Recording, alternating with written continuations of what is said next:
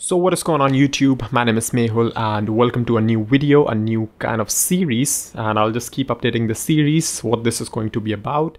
It's about Think 5 where I take 5 minutes of your time, usually less than 5 minutes only and uh, would discuss some of the meta programming side of side of things. For example, not the code itself, not you know just typing code on screen and showing you the output, but the actual things which go into programming like you as a developer how you should approach things you know what you should do in order to maximize your i don't know efficiency proficiency. We'll see um, as the time goes how you respond.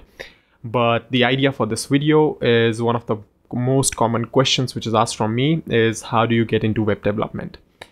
Now the very straightforward answer for this is that it depends right? First of all figure out if web development is the right tool for you a lot of people are learning web development because it's a fad or it is super cool and you can do so many things but you might not need to learn the whole web dev if you just want to automate a stuff automate something. Maybe python is good for you. So just try to figure out one of the reasons any reason why you would want web development yes, of course, jobs and everything is fine. But if you're starting as a clean slate, then you know you it might be a better thing to actually go for a field you actually enjoy and like. And if it is web development, well and good enough. Once you have done that, number two is to stop listening to everybody. That's that's the fact because right now in the web dev world there is too much noise everybody knows everything. So everybody pitches like they know everything. But the fact is that a lot of people, what, what is not being talked about is that uh, a person who followed a certain journey, a certain path to become a web developer, that path might not be the right one for you. You might be someone who learns a lot by doing practical things like building stuff, not by watching tutorials some people are like that. They they like to consume a lot of content and they take notes and everything. Me personally i have never taken a single note for the things i learn myself. So I, I, I just it's just kind of comes natural to me. And even if it does not come natural i watch the content over and over again. I, I do not take the notes. I'm not the notes guy.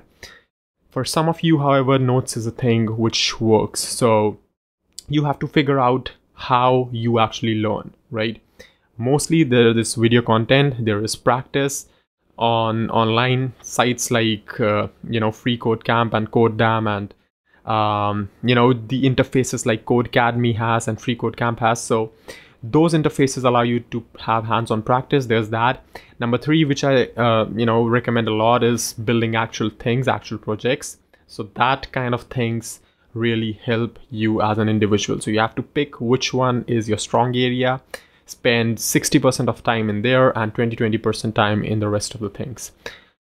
Okay, so once you have done that, you should be getting familiar, a little bit familiar with the, the front-end technologies. People like to jump into back-end immediately. Um, it kind of surprises me a lot of times. If you want to become a back-end developer, sure you can start with a language or anything but if you're on your own if you're learning individually that is the case with you won't believe a lot of people. So in that case almost always you want to have a little bit of skill set from every place right? So you want a little bit of skill set from front end as well as well as from back end so that you can actually deploy a complete solution. Because in web dev these are pieces of the puzzle. And if you're not able to fill all the pieces you won't be able to you know complete the puzzle. And uh, yeah so if you want to get into web development easiest way is to start with front end learn it a little bit move on to back end. If you have back end in mind if you have front end in mind only just do it nicely.